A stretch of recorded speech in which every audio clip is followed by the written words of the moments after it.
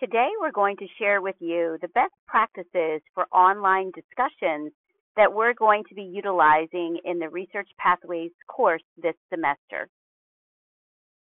We're going to be talking a lot about what a substantive online post is.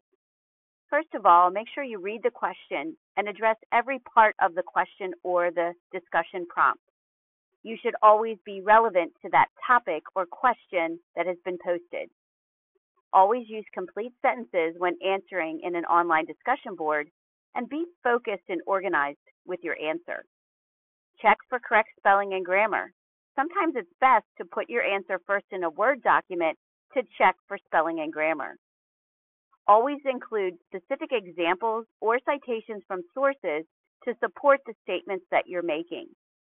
When you respond to another student's post, make sure that you use the reply button to their post and thoroughly explain why you agree or disagree with the other student's post. And make sure that you are respectful when you agree or disagree. And all your posts should be adding new ideas or information to the discussion. When responding to the main discussion question or prompt, please make sure that you start a new thread with your initial response. And you use the bullets that we just discussed in the last slide to make sure that you're posting a substantive post. If the assignment is that you are to respond to another student's post, make sure that when you respond to another student, you don't start a new thread. You want to use the reply button to the other student's initial post. Again, always be respectful when responding. You should never just agree or disagree with that student. You need to provide your reasoning and specific examples or citations to back up that agreement or disagreement. You may include questions, a possible clarification to the initial student's post or viewpoint. And your response needs to be original. It should just not repeat what the other student said.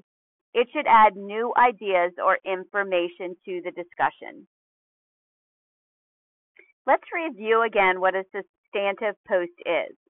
So what's a low quality post? It, a low quality post means you haven't added anything to the discussion. It's not teaching us anything or contributing anything positive or substantial to the discussion. If it's prejudicial, off topic, or you're making claims that you're not substantiating with examples or citations, if a response is poorly thought out, if it's off topic, off focus, or very carelessly typed or confusing, and if you're disrespectful to another student, that would be a low quality post.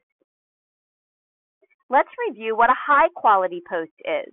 It's going to add something to discussion and teach us something. It might contain information from another valid, credible source, or apply a concept from a source or a published text or a legitimate, legitimate website in a meaningful way. It will help us understand the material that you're posting. And it will not only introduce new ideas, but it's going to help us relate that post to something that we're discussing in the topic or even something that would be considered um, transferable to our everyday life.